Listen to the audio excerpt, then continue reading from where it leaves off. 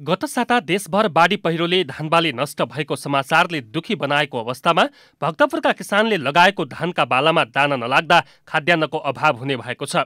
भक्तपुरका किसानले लगाएको धानमा भुस मात्र रहेपछि काठमाडौँका बजारमा धेरै रुचाइएको स्थानीय चामलको अभाव हुने भएको छ भने किसानको जीविका नै अप्ठ्यारोमा पर्ने देखिन्छ। भक्तपुरको चागुनारायण सूर्यविनायक नगरपालिकामा अधिकांश किसानले डिवाई अठाइस धान लगाएको पाइएको छ। चाइनिज धान डिवाई अठाइस अघिल्लो वर्ष राम्रो फलेको देखेर यो वर्ष पनि डिवाई अठाइस लगाएका किसान बढी मर्कामा परेका छन्। वर्ष भइसक्यो खोइ यसपालि के भयो के भयो? यस्तै भयो। अब एक रोपनी जग्गामा कति आठ नौ मुरी धान फल्थ्यो। अनि त्यही भएर अनि अहिले त खोइ के भयो के भयो न तालमाल नमिल्यो भनौँ भने अब सबैजनाको यस्तै छ हाम्रो मात्रै होइन। यो बिउ यस्तो बिउ नपरोस् भनेर पनि हामीले चाहिँ आवाजहरू उठाइराखेका छौँ। त्यसैले गर्दाखेरि आगामी वर्षको लागि चाहिँ सरकारले नै जुन राम्रो बिउ छ जुन क्वालिटीको बिउ छ त्यही बिउ मात्र चाहिँ बजारमा पाओस्। हामी सोझो सिधा किसानले हामीलाई कुन बिउ कस्तो भन्ने कुरा थाहा हुँदैन। त्यसैले गर्दा हामी चाहिँ अहिले अन द स्पोट फिल्डमै बसेर अब बिग्रेको धानहरू देखाइराखेका छौँ।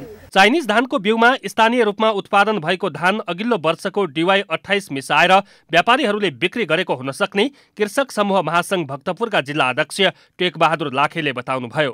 एक दिन विदेशीले हाम्रो नेपालको मरुभूमि चाहिँ मरुभूमि बनाइदियो। नेपालको जग्गा चाहिँ मरुभूमि बनाइदिन्छ भनेको थिएँ। तर नभन्दै अहिले पनि डिवाई ट्वेन्टी एटले पनि यस्तै आइरहेको छ। किन ठाउँ ठाउँमा एक दुई गाँ चाहिँ राम्रोसँग फलेको छ। त्यो एउटा दस किलोमा एक किलो राख्दाखेरि त्यो परेको धान जस्तो देखिन्छ यो त हेर्दाखेरि।